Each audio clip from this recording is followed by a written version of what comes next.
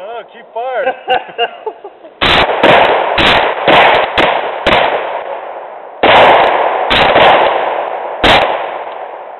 Keep firing, asshole.